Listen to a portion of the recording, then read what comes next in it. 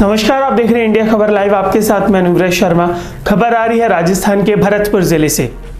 कामा कस्बे के खटीक मोहल्ला स्थित संस्कृत विद्यालय में प्राचार्य और विद्यालय की थर्ड ग्रेड अध्यापिका के बीच विद्यालय की छुट्टी होने से घंटे भर पहले घर चले जाने को लेकर नोकझोंक हो गई। हमारे संवाददाता से बात करते हुए विद्यालय की एक अध्यापिका ने प्राचार्य पर मानसिक रूप से प्रताड़ित करने का आरोप भी लगाया है। विद्यालय में थर्ड ग्रेड की तीन महिला टीचर्स और एक प्राचार्य कार्यरत हैं, जिनके ऊपर विद्यालय के 77 विद्यार्थियों का भविष्य बनाने का बोझ है। लेकिन विद्यार्थियों के अभिभावकों के अनुसार, आए दिन विद्यालय में आपसी कलह की वजह से बच्चों के भविष्य को गर्त की ओर धकेला जा रहा है।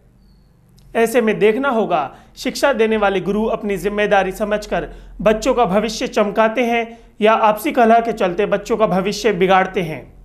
इंडिया खबर लाइव के लिए कामा से आमिर खान की रिपोर्ट।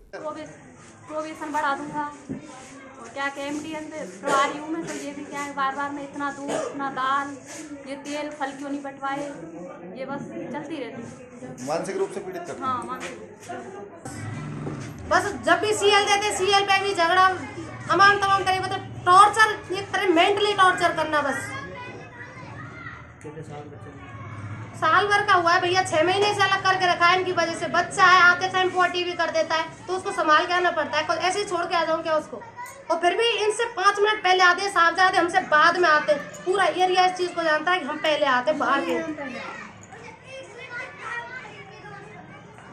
आपकी सीएल पे लाइन खींच दी इन्होंने? क्या है? बिल्कुल सर। अब भी लाइन अब भी लाइन है देख लो आप। समस्या यहाँ छोटी छोटी यही है मैं दस साल से देख रही हूँ मैं दस साल से यहाँ नौकरी कर रही हूँ और मुझे भी बहुत आप चाहे मुझे डरपोक समझ लो या कैसे भी समझ लो, बहुत यहाँ जो भी स्टाफ आया उनके साथ यहाँ पंखे होते रहे इन्हीं चीज़ों पे कोई बाहर का है जयपुर का है या भरतपुर का है कभी उससे आधे घंटे या एक घंटे की छूट दे दी या लेट क्यों आए, चाहे आप खुद लेट आ जाएँ, हम अगर दो मिनट, मेरे भी बच्चे थे छोटे छोटे अपने बड़े हो गए, मैंने बहुत परेशान मेरे तो इतना बड़ा पुलंदा बंदा पड़ा है इतने हमको स्पष्टीकरण देते हैं, कभी कुछ देते हैं सीएल भिजवाते हैं तो सीएल नहीं लेते हैं। अभी भी पढ़िए मेरे पर्स में अस्वीकृत लिख देते हैं उस पर सीएल पे। अस्वीकृत लिख देते हैं। अभी भी मेरे पर्स में पढ़िए आप देखना चाहें तो देख सकते हैं उसको और ऐसी ऐसी बातें कहते हैं मुझसे तो इतना तक कहा है कि तुम्हें नौकरी करना भुला दूँगा और तुम इस योग्य ही नहीं हो तुम्हारे माँ बाप ने तुमको संस्कार नहीं दिया तुम्हारे भैया सुधरा नहीं है माँ बाप ने बहुत बार कहा है उस आड़ जिस पे रहता है उससे दुश्मनी सी कर लेते हैं बिल्कुल।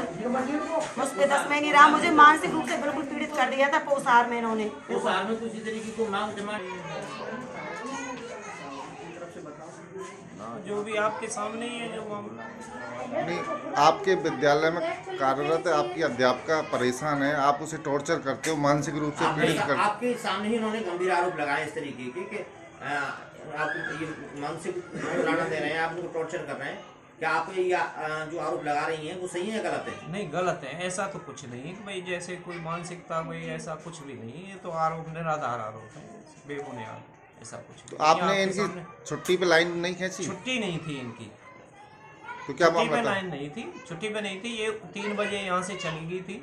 और मेरी जानकारी में नहीं था कि भाई ये मतलब ना मेरे से इस बारे में पूछ क्या विद्यालय में थे उस समय?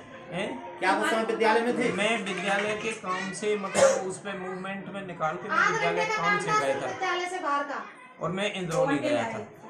वरिष्ठ उपाध्याय स्कूल में सीनियर डीडीओ के पास गया था मैं इंद्रौली गया था विद्यालय का और ऐसी कोई विशेष बात नहीं जो यहाँ उस समय इंचार्ज थी उनको ये बोल के गई नहीं मैंने लिखित में कोई इंचार्ज इनको नहीं बनाया। मैंने केवल मूवमेंट में डाला था। मैंने आदेश में इनको इंचार्ज नहीं बनाया। किस बात का फिर क्यों बंद जब संस्था में मैं मौजूद हूँ मैं यहाँ मतलब संस्था में था। मैं बारह पचपन एक बजे गया था संस्था में फिर मैं तीन पाँच पे आ गया। संस्था में मैं मौजूद हूँ। तो जब आप विद्यालय से गए आप मूवमेंट रजिस्टर में हाँ निकाल के गए। आपने पारिवारिक चार्ज दिया था उस समय? मूवमेंट में कोई चार्ज प्रभारी को नहीं दिया वो तो आदेश में निकाला जाता है कि भाई मैं आदेश में मैंने मूवमेंट में गया।